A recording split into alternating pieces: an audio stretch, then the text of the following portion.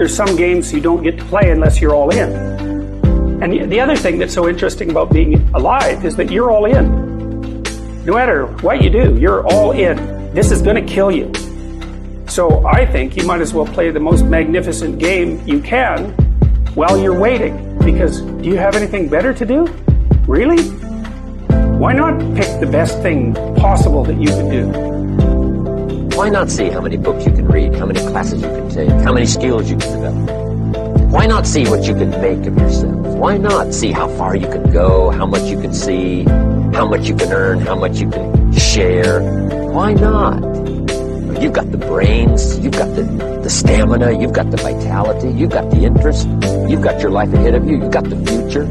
You can do it. If anybody can do it, you can do it. If one of us can do it, hey, we all can do it. Why not?